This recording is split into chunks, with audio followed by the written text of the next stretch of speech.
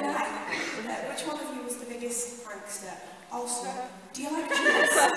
do I like peas? No, cheese. Oh, cheese.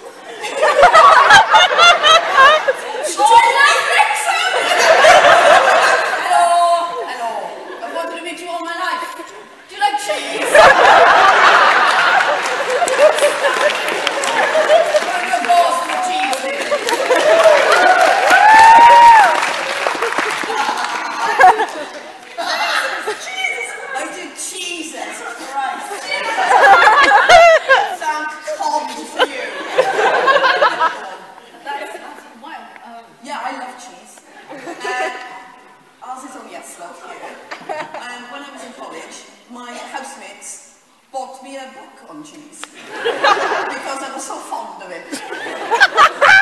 oh, there you go. sorry, I just said peas, as in like house. Like, I like peas. Uh, cheese. Um, I, I do like cheese, but I'm, I'm kind of like a child about cheeses.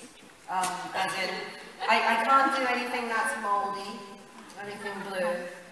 I like it.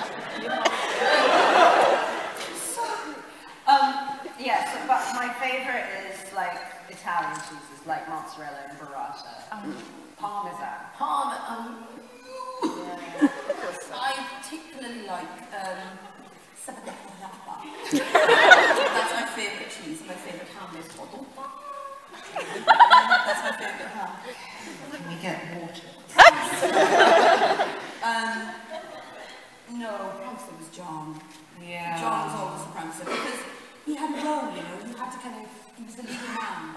And not only, you know, when you, you go on set, you have a lot of lines, you have a lot of, you know, people on set, you, you've also got a responsibility of keeping people really upbeat and really happy because people are working very long hours and tired because they're there a long time and you're having a lovely time but it's, it is your responsibility as a leading man or a leading lady to kind of keep people's spirits up and he did that in abundance.